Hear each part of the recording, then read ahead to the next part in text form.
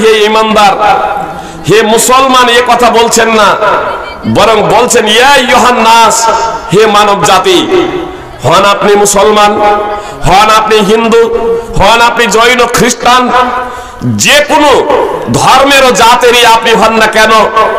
আপনি মানুষ যখন আপনাকে আল্লাহ সম্বোধন করছেন, ইয়া ইয়োহান্নাস হে মানব জাতি ইন্না খলাকনাকুম মিন দাকারি ওয়া উনসা। আমি তোমাদেরকে এক নর ও এক নারী থেকে সৃষ্টি করেছি। একজন পুরুষ ও একজন মহিলা থেকে সৃষ্টি করেছি। আমাদের সকলেরই জন্ম প্রক্রিয়া পদ্ধতি প্রায় একই। আমরা পিতামাতা থেকে জন্মগ্রহণ করছি এই বিষয়টা আমরা অহরহ প্রত্যক্ষ করছি, দেখছি। তো আল্লাহ বলছেন, নিশ্চয় আমি তোমাদেরকে এক পুরুষ ও এক মহিলা থেকে সৃষ্টি করেছি। একজন নর ও একজন নারী থেকে সৃষ্টি করেছি। এবং আমি তোমাদেরকে বিভিন্ন গোত্রে ও জাতিতে বিভক্ত করেছি। বিভিন্ন গোত্র ও জাতি, এটা উঁচ নিচের মানদণ্ড নয়, এটা ভেদাভেদের মানদণ্ড নয়, বরং সাম্যের কথা আল্লাহ তাআলা বলছেন, সাম্যবাদের কথা আল্লাহ তাআলা বলছেন যে আমি তোমাদের সবাইকে একজন নর ও নারী থেকে সৃষ্টি করেছি। তোমরা একই পিতামাতার সন্তান মানব জাতি, তোমরা একই পিতামাতার সন্তান। আল্লাহ তাআলা যে বলছেন আমি তোমাদের বিভিন্ন গোত্রে, আমি তোমাদের বিভিন্ন জাতিতে বিভক্ত করেছি। তো কেন এটা করেছেন? আল্লাহ তাআলা বলছেন তাআরাফু যাতে তোমরা আপোষে পরিচিতি লাভ করতে পারো। আপোষে যাতে তোমাদের এক অপরে পরিচিতি লাভ করতে পারো। পরিচিতির জন্য আল্লাহ তাআলা বিভিন্ন গোত্র এবং জাতিতে বিভক্ত করেছেন। আল্লাহ বলছেন নিশ্চয় তোমাদের মধ্যে সম্মানিত ব্যক্তি, নিশ্চয় তোমাদের মধ্যে মর্যাদাবান ব্যক্তি। আল্লাহর নিকটে হলো সেই যে যত বেশি তাকওয়া অবলম্বন করে, যে যত বেশি সংযমশীল, যে যত বেশি বিশ্ববিধাতা আল্লাহ তাআলার বিধিনিষেধ মেনে চলে, সেই হলো আল্লাহর নিকটে সম্মানিত, সেই হলো আল্লাহর নিকটে মর্যাদাবান। একজন ইহুদি খ্রিস্টান, কোলভিল, চামার, মুচি মেথরের ঘরে জন্মগ্রহণ করে, সে যদি বিশ্ববিধাতা আল্লাহ তালার বিধান অনুযায়ী জীবন যাপন করে, তাহলে সেই হলো আল্লাহর নিকটে পরেশগার মুত্তাকি, আল্লাহর নিকটে সেই হলো মর্যাদাবান, আল্লাহর নিকটে সেই হলো সম্মানজনক ব্যক্তি। আর যদি মুসলমান ঘরেও জন্মগ্রহণ করার পরে আল্লাহ তাআলার বিধান অনুযায়ী জীবন যাপন না করে, তাহলে সে আল্লাহর নিকটে নিকৃষ্টতম ব্যক্তি। সে আল্লাহর নিকটে নিকৃষ্টতম ব্যক্তি, সুপ্রিয় ভাই এবং বোন, এই বিষয়টা খুব ভালোভাবে বুঝে নিন। আল্লাহ তাআলা বলছেন, ইন্নাল্লাহ আলিমুন খাবির। নিশ্চয় আল্লাহ তাআলা সর্বজ্ঞ, সব বিষয়েই খবর রাখেন। সূরা আল হুজুরাত 49 নম্বর সূরা 13 নম্বর আয়াত। আল্লাহ তাআলা মক্কা বিজয়ের সময় পবিত্র কাবার মসজিদে হারাবের তপের তপের পর যে বক্তৃতা প্রদান করেছিলেন, তাহলে এই সাল্লাহ আলি সাল্লাম বলেছিলেন, সমস্ত প্রশংসা আল্লাহ যিনি তোমাদের থেকে দোষ ও দূর করে দিয়েছেন। হে লোকেরা, সমস্ত মানুষ দুভাগে বিভক্ত। আল্লাহ রসুল সাল্লাহ আলী সাল্লাম বলছেন, সমস্ত মানুষ, পৃথিবীতে যত মানুষ আছে, সমস্ত মানুষই দুভাগে বিভক্ত। এক, নেককার, সৎ ও পরেশগার যারা আল্লাহর দৃষ্টিতে মর্যাদার অধিকারী। যারা সৎ যারা সৎ, যারা বিশ্ববিধাতার বিধিনিষেধ মেনে চলে, সংযমশীল, পুণ্যবান আল্লাহর দৃষ্টিতে তারা মর্যাদার অধিকারী। আর দুই, পাপি, দুরাচার যারা আল্লাহর দৃষ্টিতে নিকৃষ্ট, অন্যথায় সমস্ত মানুষই আদমের সন্তান। অন্যথায় সমস্ত মানুষই আদমের সন্তান বানু আদম। যদি কর্মের ভিত্তিতে আল্লাহর নিকটে মর্যাদাবান না হতো, তাহলে সমস্ত মানুষই আদমের তো সন্তান। এই দৃষ্টিকোণ থেকে সবাই সমান। কিন্তু কর্মের ভিত্তিতে যে ভালো কাজ করে, সে আল্লাহর নিকটে মর্যাদাবান আর যে মন্দ কাজ করে, সে আল্লাহর নিকটে যে পাপ কাজ করে, সে আল্লাহর নিকটে নিকৃষ্টতর, নিকৃষ্টতম। আল্লাহর নবী সাল্লাল্লাহু আলাইহি সাল্লাম বলছেন, ওয়ান্নাস বানু আদম। অন্যথায় সমস্ত মানুষই আদমের সন্তান। ও আদম মিন তুরাব। আর আদম মাটির সৃষ্টি। সুনানে তিরমিজি হাদিস নম্বর 3193 নবী সাল্লাল্লাহু আলাইহি সাল্লাম বলেছেন, হে লোক সকল, হে লোক সকল, সাবধান। তোমাদের আল্লাহ একজন, তোমাদের রব একজন। ইন্নে রব্বাকুম ওয়াহিদ। তোমাদের রব একজন, তোমাদের প্রতিপালক একজন, তোমাদের আল্লাহ একজন, সুপ্রিয় ভাই ও বোন, আমাদের এই ভারতবর্ষের মাটিতে কেউ ভগবান বলে, কেউ গড় বলে, কেউ ঈশ্বর বলে। আপনি আরাবিয়ান মুশরিকদেরকে জিজ্ঞেস করুন, পবিত্র কোরআনে আল্লাহ তাআলা সেই আরাবিয়ান মুশরিকদের চিত্র অঙ্কন করেছেন। আল্লাহ তাআলা মুহাম্মদ সাল্লাল্লাহু আলাইহি সাল্লামকে বলেছিলেন মুহাম্মদ সাল্লাল্লাহু আলাইহি সাল্লাম, আপনি তাদের জিজ্ঞেস করুন, আকাশকে সৃষ্টি করেছে, পৃথিবীকে সৃষ্টি করেছে, রুজিদাতাকে, মৃত্যুদাতাকে, জীবনদাতাকে, সার্বভৌম ক্ষমতার অধিকারীকে, চন্দ্র সূর্যকে কে বশীভূত করে দিয়েছে? তারা অবশ্যই বলবে আল্লাহ। তারা অবশ্যই বলবে, আল্লাহ। সুরাতুল মুমিনুন, তেইশ নম্বর সুরার চুরাশি থেকে উননব্বই নম্বর আয়াত এবং সুরা আনকাবুত, উনত্রিশ নম্বর সুরার একষট্টি থেকে তেষট্টি নম্বর আয়াত, সুরা লোকমান একত্রিশ নম্বর সুরার পঁচিশ নম্বর আয়াত, সুরা জুমার উনচল্লিশ নম্বর সুরার আটত্রিশ নম্বর আয়াত। পবিত্র কোরআনে আল্লাহ তালা এ কথা অনেক জায়গাতে উল্লেখ করেছেন। তো মক্কার যারা মুশরিক মক্কার মুশরিকরা, আরবের মুশরিকরা, আরবের কাফেরেরা, ইহুদি খ্রিস্টানেরা তারাও আল্লাহ তাআলাকে সার্বভৌম ক্ষমতার অধিকারী বলে বিশ্বাস করত। আল্লাহ তাআলা সার্বভৌম ক্ষমতার অধিকারী। তিনি আকাশ ও পৃথিবী সৃষ্টি করেছেন। তিনি চন্দ্র সূর্যকে বশীভূত করে দিয়েছেন। এটা মুশরিকরাও ব্যর্থহীনভাবে ঘোষণা দিত। মোহাম্মদ সাল্লাল্লাহু আলাইহি সাল্লাম বলছেন যে মানুষ, তোমরা জেনে রাখো, ইন্না রব্বাকুম ওয়াহিদ। তোমাদের পালন কর্তা একজন। ওয়া আবাকুম ওয়াহিদ, আর তোমাদের পিতাও একজন। ইহুদি খ্রিস্টানরাও বাই তাওরাত ইনজিল, বাইবেলের ওল্ড টেস্টামেন্ট, নিউ টেস্টামেন্টে লেখা আছে যে সমস্ত মানুষই হলেন আদম আলাইহিস সালামের সন্তান, সমস্ত মানুষের পিতা হলেন আদম আলাইহিস সালাম সুপ্রিয় ভাই ও বোন, সমগ্র মানব জাতি হলেন এক। নর নারী থেকে মুহাম্মদ সাল্লাল্লাহু আলাইহি সাল্লাম বলছেন যে তোমরা সকলেই হলে একজন মানুষের সন্তান তোমাদের পিতা হলো একজন। কোন অনারবের উপর কোন আরবের, ও কোন আরবের উপর কোন আনারবের, কোন কৃষ্ণাঙ্গের উপর শ্বেতাঙ্গের, ও কোন শ্বেতাঙ্গের উপর কৃষ্ণাঙ্গের কোন শ্রেষ্ঠত্ব নেই আল্লাহ ভীতি ছাড়া। সাদার ওপরে কালো কালোর উপরে সাদা, আরবের উপরে অনারবের অনারবের উপরে আরবের কোন ব্যক্তির কোন প্রাধান্য নেই। সাদা তাই ভালো, কালো খারাপ। যে ইউরোপ, আমেরিকাতে আজও বর্ণ বিদ্বেষ রয়েছে। বর্ণ বিদ্বেষকে কেন্দ্র করে সাদারা কালোর উপরে সদা সর্বদা আক্রমণ করে। যখন তখন একটা মানুষের প্রাণকে কেড়ে নেয়। জাতি বিদ্বেষ এই জাতীয়তা বিদ্বেষের মূলোৎপাদন করেছে, সাম্যবাদের প্রতিষ্ঠার ডাক দিয়েছে চৌদ্দ শত বছর পূর্বে, প্রায় চৌদ্দ শত বছর পূর্বে বিশ্ব মানবের পথ প্রদর্শক মহাত্মা মহাপুরুষ মোহাম্মদ সাল্লাহ আলী সাল্লাম বললেন আরবের উপরে অনারবের উপরে, আরবীয় কোন ব্যক্তির প্রাধান্য নাই। আর অনারবের কোন আরবীয় ব্যক্তির উপরেও প্রাধান্য নেই। কালোর উপরে সাদার কোনো প্রাধান্য নেই। কালো একজন নারী বলে সে খারাপ, সাদা নারী বলে ভালো, এমনটি ভাবার কোনো অবকাশ নেই। সাদা নারী খারাপ, কালো নারী ভালো, এমনটিও ভাবার কোনো অবকাশ নেই। ভালো এবং মন্দ ভালো এবং মন্দ। এইটা ভালো এবং মন্দ। ভালো মন্দের মানদণ্ড হচ্ছে একমাত্র তাকওয়া, আল্লাহ ভীতি। কে কত সৎ, কে কত ভালো, কে কত আল্লাহ ভীরু, কে কত আল্লাহ তালার বিধি নিষাদ মেনে চলে, তার ওপরে এটা নির্ভর করছে। সুপ্রিয় ভাই বোন, এজন্য আপনাদেরকে বলব যে আসুন, আমরা বিষয়টাকে গভীর দিয়ে মূল্যায়ন গভীর ভাবে মূল্যায়ন করি যে বিশ্ব বিধাতা এই পৃথিবীতে আমাদেরকে কেন প্রেরণ করেছেন? যে বিশ্ববিধাতা আমাদেরকে কেন প্রেরণ করেছেন?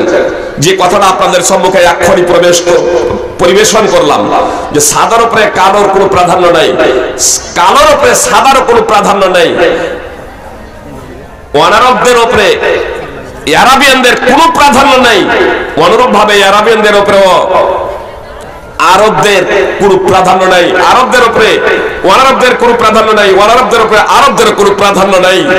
বরং মর্যাদাবান হলো সেই ব্যক্তি যে যত বেশি পরহেজগার, সংযমশীল সংযমশীল বিশ্ববিধাতার বিধিনিষেধ মেনে চলে, সেই হলো তত আল্লাহর নিকটে মর্যাদাবান, সম্মানিত ব্যক্তি হোক তার রংটা কালো, হোক সে কুৎসিত কদাকার বেটে সেই হলো আল্লাহর নিকটে মর্যাদাবান।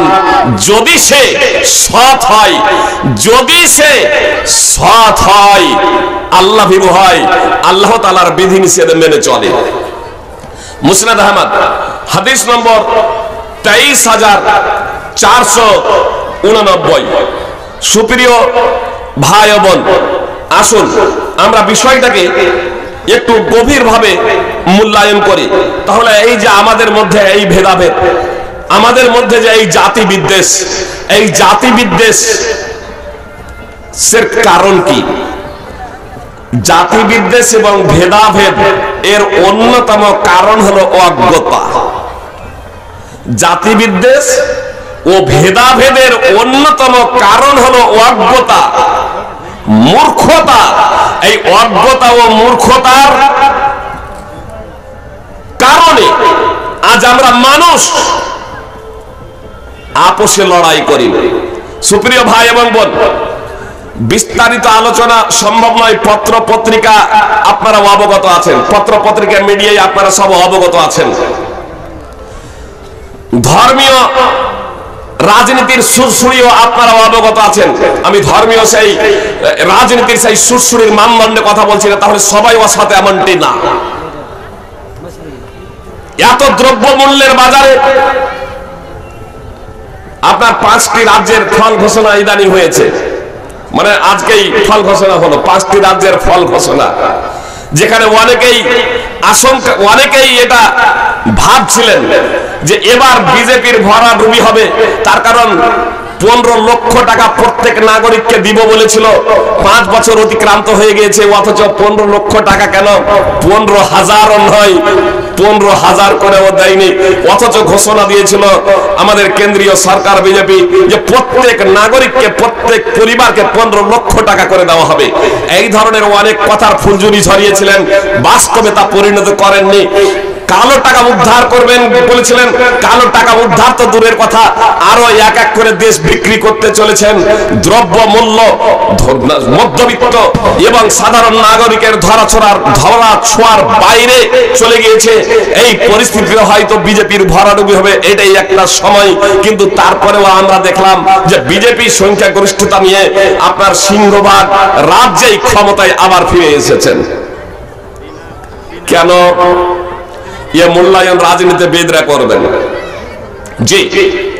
আপনার মিডিয়া, মিডিয়াদের আমি বলতে চাই সাংবাদিকের সাংবাদিকদের বলতে চাই, সিংহভাগ মানুষ যেখানে অজ্ঞ সিংহভাগ মানুষ যেখানে মূর্খ, সিংহভাগ মানুষ যেখানে পাপ কাজে ধাবমান শিক্ষিত মানুষদের আমি বলতে চাই, আপনারা সঠিক তথ্যটা তুলে ধরুন, সঠিক সঠিক কথাটা পরিবেশন করুন। আপনার মিথ্যার প্রতিশ্রুতি দিয়ে হাজার বার যদি একটা মিথ্যা কথাকে বারবার বলা হয়, তাহলে যারা অজ্ঞ, অল্প বুদ্ধির লোক বা যারা অল্পেই সন্তুষ্ট হয়ে যায়, পরবর্তীতে কি হবে ভাবে না আচ্ছা এখন তো পাঁচশো টাকা পাচ্ছি, এক বোতল মদ পাচ্ছি, একটু মাংস খেতে পাচ্ছি, এতে যারা ভুলে যায়, তাদের ভোট কেনাটা খুব সহজ। সুপ্রিয় ভাই, সত্য তথ্যটা পরিবেশন করুন, নইলে দেশ আমাদের আরও বিক্রি হয়ে যাবে। যারা হিন্দু, মুসলমান দাঙ্গা ফাসাদ লাগিয়ে দেয়, এটা খুব ভালোভাবে জানেন। আপনারা অবগত আছেন যে বিজেপির বড় বড় নেতাদের মেয়ে আবার মুসলমানদের সাথে বিয়ে দিয়েছেন। মুসলমানকে জামাই করেছেন বিজেপির বড় বড় নেতারা। তো বড় বড় নেতারা মুসলমানকে জামাই করছেন? যদি মুসলমানদের সাথে তাদের যদি লড়াই, দাঙ্গা, ফাসাদ লক্ষ্য উদ্দেশ্য হয়, তাহলে তাদেরকে জামাই করছেন কেন?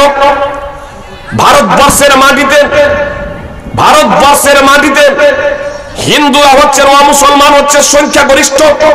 ভারতবর্ষের মাটিতে বর্তমানে বিজেপি ক্ষমতায়, আর তারপর বারবার আমাদের স্বরাষ্ট্রমন্ত্রী থেকে নিয়ে বিভিন্ন সিএম এ কথা বলেন, বিজেপি খাতরা মে হ্যাঁ বিজেপি আতঙ্কগ্রস্ত, মুসলমানরা ক্ষমতায় চলে আসবে পাকিস্তানের ভয় দেখিয়ে আপনাদের ভোটকে লুট করছে সুপ্রিয় ভাই বোন। আপনারা নিজের বিবেক বুদ্ধি একটু খুলবেন না, একটু ভাববেন না। বিজেপি ক্ষমতায় র তার অধীনে সিবিআই, ইডি তার অধীনে, তারাই ক্ষমতায়, আর তারা ক্ষমতায় থাকা সত্ত্বেও তাদের ক্ষমতায় আবার ওয়া মুসলমান, হিন্দুরা আতঙ্কিত। হিন্দু খাতরা মেহে তাহলে খাতরাটা করছে কে? হিন্দু মেয়েকে ধর্ষণ করছে। হিন্দু সিএম মুখ্যমন্ত্রীর রাজ্যে হিন্দু লোকেই ধর্ষণ করছে। খাতরা আতঙ্কিত, নির্যাতিত, নিষ্পেষিত। কে করছে এগুলো? একটু মূল্যায়ন করবেন না। আপনার বিবেকটাকে একটু জাগাবেন না, সুপ্রিয় ভাই এবং বোন। এই কথাগুলো যদি আমি বলি, তাহলে কোরআন, হাদিস শোনা থেকে হয়তো বঞ্চিত হয়ে থেকে যাবেন। এজন্য বিস্তারিত আমি এই দিকে যাচ্ছি না। যে আপনার যোগী রাজ্যে উত্তর প্রদেশে কত মুসলমান মেয়েকে ধর্ষণ করা হয়েছে? হাতরাস কাণ্ড দেখুন। আর এই হাতরাস কাণ্ড আবার বিজেপি ক্ষমতায় আসছে। ওখানেও হাতরাস হাতরাস গ্রামেও হাতরাস অঞ্চলে আপনার বিজেপি ওখানে পাস করছে। সুপ্রিয় ভাই এবং বোন, আসল বিষয়টা হলো যে আমরা আসলে কিছু মানুষের প্রভাবনে যে কৃষকদেরকে উত্তর প্রদেশে ঢুকতেই দেওয়া হলো না উত্তর প্রদেশে এত কৃষক থাকা সত্ত্বেও পরবর্তীতে আবার তারাই আবার ক্ষমতায় নিয়ে আসে আর পরবর্তীতে আমরা বলছি ইভিএম এ কারচুপি করেছে, জালিয়াতি করেছে, নানা ধরনের এইরকম মন্তব্য করছি। সুপ্রিয় ভাই এবং বোন, করেছি কি করেনি? আল্লাহ আলাম, সেটা করতেও পারে আবার নাও করতে পারে। অভিযোগ মিথ্যাও হতে পারে, আবার সত্যও হতে পারে। এক আল্লাহ তালাই ভালো জানেন, তাহলে সদা সর্বদা যোগ সব সব এক থাকে না। সবাই সদা সর্বদা ক্ষমতায় থাকে না, সুপ্রিয় ভাই এবং বোন। আমি আর আপনি লোকের উপরে অভিযোগ না করে, বিশেষ করে আমি মুসলমানদেরকে বলব, যারা আল্লাহ তালার সন্তুষ্টি কামনা করতে চান, যারা জান্নাতে যেতে চান, এমনকি যারা মুসলমান যারা আছেন, হিন্দু, জৈন, খ্রিস্টান, ইহুদি, কলভিল, চামার, যে কোনো শ্রেণির শ্রেণির মানুষ আমার বক্তব্য শুনছেন, কথা শুনছেন, অনলাইনে শুনছেন, অথবা উপস্থিত থেকে শুনছেন, প্যান্ডেলের নিচে আছেন, অথবা বাড়িতে আছেন। নিরপেক্ষ দৃষ্টিভঙ্গি নিয়ে কথাগুলো শুনুন এবং একটু মূল্যায়ন করবেন। খোলা আকাশের নিচে একবার দণ্ডায়মান হবেন, তারপর ভাববেন যে আমাদের স্রষ্টাকে কেন সৃষ্টি করেছেন? আমি যাকে সৃষ্টি করেছি, তিনি আমার স্রষ্টা। স্রষ্টার ইবাদত করি কেন? সাধারণত স্রষ্টার ইবাদত করা হয় তিনটি কারণে। তিনটি কারণে। ভক্তি ভক্তি, ভালোবাসা। ভক্তি ও ভালোবাসা। সাধারণভাবে মানুষও এক অপর যার প্রতি এরকম ভালোবাসা, এরকম অগাধ যখন জন্মে, তখন তাকে শ্রদ্ধাঞ্জলি দেয়। যে অনেকেই মরে গিয়েছে। গান্ধীজি, নেতাজি, তাদের মূর্তির পাদদেশে অনেক অমুসলমান ভাইরা মাথা নত করেন। তাকে ঘৃণা ভরে নয়, বরং তাকে শ্রদ্ধা জানাতে গিয়ে। তো কেউ কারও উপাসনা করে, বন্দেগি করে, পূজা করে তিনটি কারণে। এক, ভক্তি ভালোবাসা। নম্বর দুই, তার কাছ থেকে কিছু আশা করে। কিছু ভরসা করে, কিছু আকাঙ্ক্ষা করে, কিছু পাব, এই ইচ্ছে রাখে। নম্বর তিন, ভয়। ভয় সে আমার ক্ষতি করতে পারে, আমি যদি তার দাসত্ব না করি। আমি যাতে তা আমি যাতে তা আমি যদি তার গোলামি না করি, আমি যদি তার বন্দগি না করি তার তিনি ক্ষতি করবেন। এজন্য আপনি সাধারণভাবে যে ভালোবাসা, ভক্তি একমাত্র যিনি আমাদের সকলকে সৃষ্টি করেছেন, তার জন্য হওয়া উচিত ছিল এই ভালোবাসাটা, এই ভক্তিটা মানুষ অজ্ঞতার কারণে, মূর্খতার কারণে বিভাজন করে দিয়েছে। দেখবেন একজন ব্যক্তি মাজারে যায় আর মাজারে সোজা হয়ে যায়, পীর বাবার কাছে সোজা হয়ে যায় আর ওখান থেকে যখন বের হয়, তখন উল্টো ভাবে ফিরে আসে যে মানে সোজা ভাবে আসলে মনে করে যে পাছাকে পিছন দেখানো হলো। এজন্য পিছন দিয়ে নয়, নিতম্বের দিক তার দিকে করে না। সোজা হয়ে তখন পিছে হটতে হটতে আসে ভক্তি, ভালোবাসা, সুপ্রিয় ভাই এবং বোন, আপনারা খুব ভালোভাবে জানেন